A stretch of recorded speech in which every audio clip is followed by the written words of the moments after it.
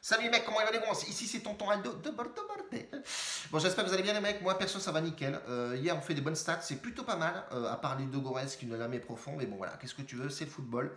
Même si les mecs ils ont eu un carton rouge, ils ont eu une demi-heure pour faire le taf, il y a eu 26, 26 frappes, 19 000 poteaux, un but refusé, un péno, je sais pas quoi. Rien, ils n'ont pas réussi à claquer nos trois buts, bordel. Bref, on fait un 2 sur 3 et c'est plutôt pas mal, ça remonte un petit peu les affaires. Et tu vois dans le lien de la description ici que tu, euh, vois toutes les mises que j'ai faites et tu verras qu'on est en bénéfice, même si on a perdu quelques matchs, on reste positif, bordel. Et ça, c'est la base. Je tiens à le répéter, Paris sportif, long terme, point barre. Parce que tu as des minots qui arrivent, oui, qui t'insultent. Ah là les mecs, ils sont vénères. Putain, ils ont perdu 2 euros, frère. Oui, Bref, du coup, voilà, ils sont un peu énervés. Bon, je le comprends, hein, c'est, euh, ils comprennent pas. Euh, petit aparté, les mecs, je vais faire une grosse pub pour Olivier Labatte avec euh, son VIP, son club VIP. Olivier Labatte, c'est tout simplement une vingtaine de mille d'abonnés sur YouTube. Il faisait énormément de pronostics. Il passait beaucoup de temps. Et il a créé son club VIP. Voilà, c'est pas un mec genre tous ces blaireaux là qui font des sites, des machins, qui t'arnaquent euh, Chouf, euh, comment il s'appelle, blaireau là, Flovap, euh, je sais pas quoi, c'est tous des, voleurs. Ils te prennent les tickets, ils t'enfilent après, ils te donnent de la merde. Enfin bref, voilà. Là, tu as Olivier Labatte, c'est sérieux. Un mail tous les matins, 8h30. Tu as les pronos qui passent quasiment tout le temps. Tout le temps serait mentir, mais ça passe énormément. Tu as des témoignages sur le site internet, tu iras dans le lien de la description. Je mettrai son site et tu verras, tu tapes dessus. Si tu prends un abonnement, euh, avec Olivier Labatte, avec mon code promo, 10% euh, tu auras dessus. C'est euh, code promo, c'est Aldo. Et tu auras automatiquement 10% sur ben, le, bouquet, le, bouquet que tu prends, tout simplement. Faut savoir que c'est très sérieux, Olivier Labatte. c'est pas un arnaqueur, c'est un mec honnête. Moi, je, l'ai parlé, je lui ai parlé. Alors, je lui ai dit voilà, je te fais la pub, mais bon, faut pas que derrière tu fasses un taf d'enculé et surtout que tu voles les mecs. Le mec, il est honnête, propre, c'est vraiment très tchatcher. Va voir ce mec et je t'invite vraiment à prendre son VIP. Je gagne rien dessus. Hein. Euh, il m'a dit, voilà, c'est un, accord comme un accord. Je te fais la pub, ça me coûte zéro et euh, ça me fait plaisir. Voilà. Donc Olivier là-bas, très très tchatcher, très lourd comme pronostiqueur. Voilà, le mec fait les VIP parce que ben, faisait beaucoup de pronostics et puis c'est beaucoup de travail et moi je le comprends. Voilà, tout simplement. Nous, aujourd'hui, on va faire trois pronostics, les mecs. On va partir Belgique, Espagne et Roumanie. Il n'y a pas match de match de Ligue 2, mais bon, je ferai euh, un fun sur Telegram, donc je t'invite à venir sur Telegram. Je sais que c'est relou, va sur Telegram, sur mes bah, bah, si tu veux des fun, euh, viens plutôt sur Telegram et je te les balancerai là-bas. Il y a une page spéciale euh, prono, je colle ça là-dessus, tu vois ce que je mets, tu regardes, si ça te plaît, tu joues le fun, ça te plaît pas, tu le joues pas tout simplement. Euh, donc on part aujourd'hui en Belgique, Genk qui rencontre Anderlecht.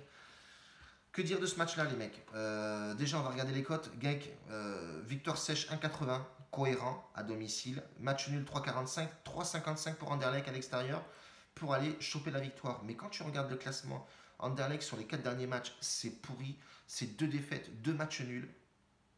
Genk qui s'en sort plutôt pas mal, même si c'est un dents de victoire, deux défaites. Mais euh, à domicile, c'est plutôt pas mal. Euh, ils ont perdu le dernier match à domicile, c'était contre Zult. Ils ont perdu 2-0.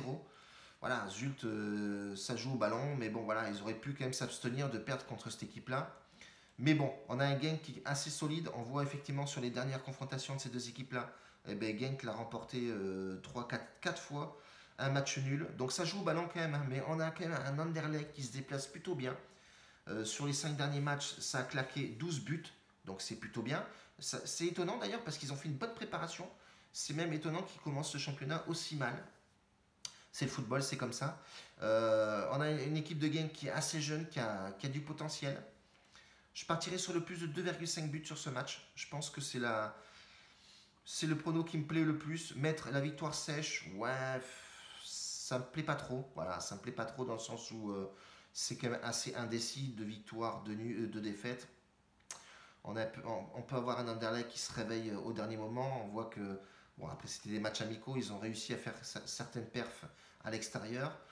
Mais ça met son but à l'extérieur, pourquoi pas exploiter ça, aller jouer sur le plus de 2,5 buts, sachant que le championnat belge, c'est un championnat aussi qui a énormément de buts. Donc on partirait là-dessus. C'est une cote à 1,50, elle n'est pas dégueulasse. On est à plus de 60% de probabilité, donc c'est plutôt bien.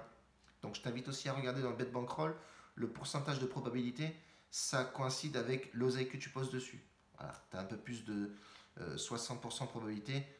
On est sur une, une confiance qui n'est pas trop mal. Donc moi je mets 20 balles.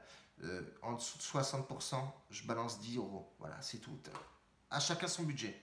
Si tu as de l'oseille, tu mets 50 balles. Si tu en as moins, ben, tu mets moins et puis c'est tout. Euh, deuxième match, on va partir en Espagne. Euh, FC Séville qui rencontre Grenade. Grenade, c'est plutôt pas mal. Hein. Liga DOS l'année dernière finit deuxième. C'est plutôt propre.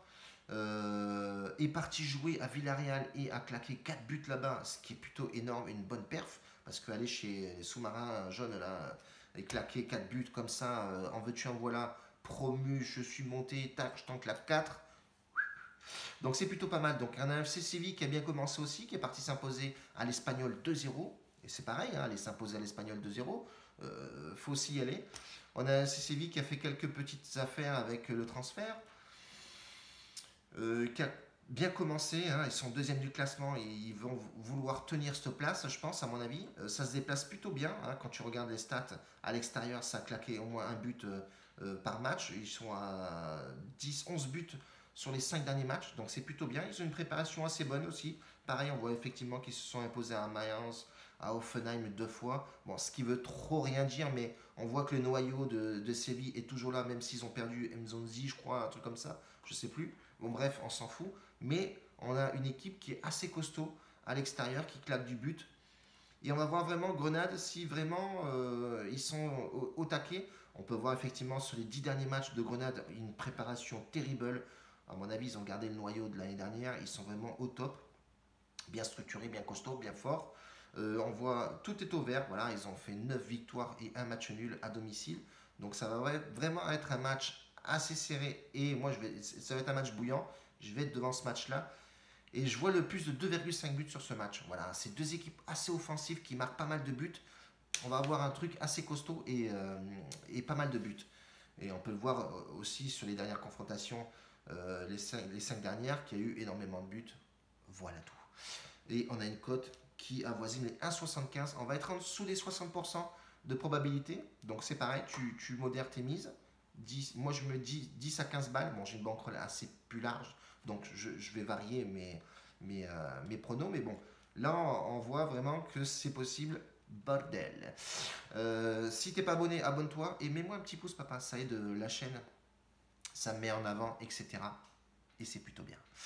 Euh, dernier match, j'ai dit Roumanie, septième journée de la Roumanie. Je suis les débuts de championnat. J'aime bien aller papillonner un petit peu partout. Et septième journée donc de Roumanie, un, un poli l'Asie à domicile qui euh, accueille Shindia, qui a mal commencé, c'est horrible. Sur les dix derniers matchs, c'est euh, tout simplement une catastrophe. Cinq défaites, trois nuls, deux victoires seulement. C'est pas forcément folichon, ça se déplace très mal. Voilà, sur les euh, cinq derniers matchs, c'est trois nuls et deux défaites. Ce qui coïncide avec le classement. Pour l'instant, ils sont 12e à deuxième place. Ils ont gagné leur dernier match à domicile mais ça se déplace très mal. C'est vraiment très très chaotique à l'extérieur. Et on a un Polilazzi qui est plutôt en forme. Sur les 5 derniers matchs à domicile, c'est 4 victoires et une défaite. Une défaite d'ailleurs contre Bostana, Bostasi, Botozani. Bah, abandonné, voilà, il faut que tu enlèves le dos du cul. Botozani qui est parti s'imposer, euh, qui est cinquième du classement, qui est parti s'imposer là-bas. Ce qui veut rien dire. Donc là, ils vont être à domicile. Ils ont une bonne. Euh, sur les cinq derniers matchs, ils ont vraiment un bon rythme. Et je pense que Poli devrait faire le travail à la maison. Cote à 1,60, c'est donné. Alors, je me suis posé la question pourquoi 1,60 à domicile contre une équipe qui est classée 12e avec des stats aussi pourris Alors, les bookmakers, ils mettent Shindia gagnant à l'extérieur, 4,80 la cote. Ok, cherchez l'erreur. 3,30 le match nul, et euh, hier était 1,60. La cote fait que descendre. Elle est à 1,55 aujourd'hui pour Poli. Donc ça explique vraiment que les bookmakers ont réfléchi à leur, cote. Et la cote est en train de descendre. On était à 1,63. On est à 1,55 sur la victoire de Poli. Moi, je l'ai joué hier soir, donc j'étais à 1,60. Et là, on est tombé à 1,55. Donc il faut vraiment taper dedans. Aujourd'hui, on va atteindre une cote à 1,40. Ça, c'est sûr. Donc voilà, on va rester là-dessus pour aujourd'hui, les mecs. Je tape la vidéo, les montages. Et allez-y vite au tabac, faire vos paris sportifs, les mecs. C'est Tonton Aldo de Bordeaux, les mecs. 100% gratuit. Allez sur Telegram, je mettrai euh, un fun, un gros fun. Ouais, on va mettre un gros fun. Et puis c'est tout, les mecs. Merci de me suivre en tout cas. Une, bise à tous. Une bise à la famille. Telegram, les mecs. Hein, je, ne répète pas assez. Mais merci en tout cas pour tout ce que vous faites. Euh, surtout mes administrateurs qui font le ménage pour moi, qui, qui justement motivent les mecs à faire les, vidéos Tipeee, etc. Je parle de Hervé de Bordeaux, il va se reconnaître. Euh, et, les autres, hein, j'ai pas tous les noms en tête, mais en tout cas, vous faites un gros maille, un gros boulot. Nous on dit un gros maille à Bordeaux. Un bacio tutti, grazie, la forza, bordel.